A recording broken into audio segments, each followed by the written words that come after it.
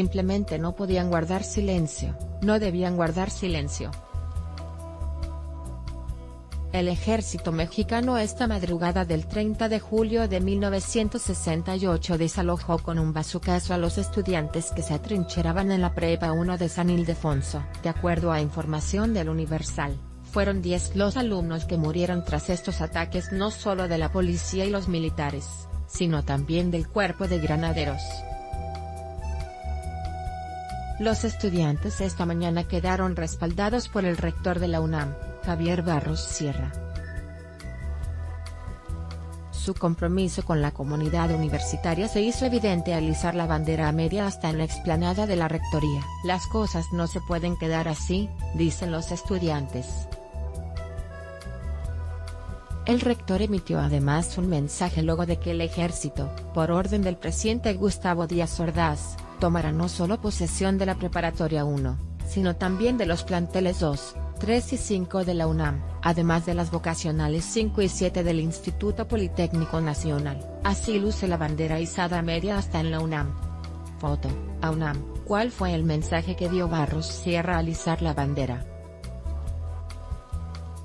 Primero, declaró este 30 de julio de 1968, como un día de luto para la UNAM. Quedó de manifiesto el descontento y la indignación que sintieron por las acciones del gobierno mexicano a través de su cuerpo de policía, de granaderos y de militares universitarios. Hoy es un día de luto para la universidad, indicó Javier Barros Serra frente a cientos de estudiantes dolidos en Ciudad Universitaria.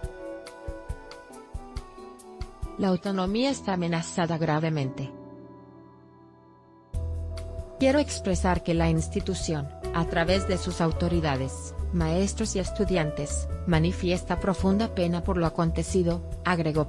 Barros Sierra hizo énfasis en el concepto erróneo que las autoridades tienen sobre la autonomía. La autonomía no es una idea abstracta, es un ejercicio responsable que debe ser respetable y respetado por todos, dijo ante los aplausos y el llanto de los alumnos esa dualidad de sentimientos que experimentaron muchos al escuchar hablar al rector.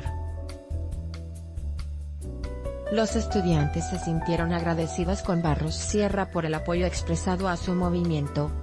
Foto, El Universal, está haciendo algo para calmar los ánimos.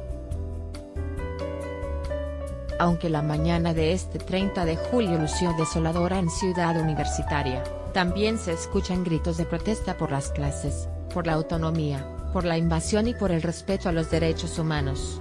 En el camino a este lugar he escuchado un clamor por la reanudación de las clases, indicó el rector. No desatenderemos a ese clamor y reanudaremos a la mayor brevedad posible las labores, afirmó Barros Sierra quien se animó a hacer unas recomendaciones a los estudiantes, antes de convocar a una marcha pacífica para el 1 de agosto. Debemos saber dirigir nuestras protestas con inteligencia y energía. Que las protestas tengan lugar en nuestra casa de estudios, gritó Javier Barros Sierra. No cedamos a provocaciones, vengan de fuera o de adentro, entre nosotros hay muchos enmascarados que no respetan, que no aman y no aprecian la autonomía universitaria. Este es el discurso que ofreció esta mañana el rector de la UNAM, Javier Barros Sierra. Video YouTube, vía UNAM Global Viva la Autonomía Universitaria. Alisar la bandera en señal de luto por la violación a la autonomía de la UNAM, Javier Barros Sierra indicó que la universidad es lo primero, permanezcamos unidos para defender, dentro y fuera de nuestra casa, las libertades de pensamiento, de reunión, de expresión y la máscara, nuestra autonomía. ¡Viva la UNAM! ¡Viva la autonomía universitaria! Luis González de Alba, dirigente estudiantil de la Facultad de Filosofía y Letras de la UNAM, afirmó en redes sociales su indignación por los acontecimientos ocurridos la madrugada de este 30 de julio. Ayer recibí una llamada, el ejército acaba de entrar a la preparatoria, tiraron la puerta con un mortero, posteó. Yo tenía cada vez más presente la desagradable sensación de impotencia, rabia y miedo que produce una ocupación militar, es lo más parecido a ver a un ejército enemigo desfilando en triunfo por las calles de la ciudad derrotada. Uno nunca llora, pero siente como si lo estuviera haciendo, publicó González de Alba. Estas fueron las declaraciones de González de Alba en sus redes sociales. Consulta la cena 50 del 68.com. Foto, la historia que nos une, en donde quedó el Comité de Lucha de la UNAM. Ellos también tienen su versión, justo el Comité de Lucha de la Facultad de Ciencias Políticas y Sociales, indicó esta mañana del 30 de julio, lo que pasó con los detenidos en las preparatorias 1 y 3. A los detenidos nos llevaron a la jefatura. Nos bajaron y fuimos golpeados por una doble fila de agentes secretos. Nos metieron en una crujía en la que ya había 50. Éramos 250, luego nos empezaron a sacar de 10 en 10 para declarar, narran en un comunicado.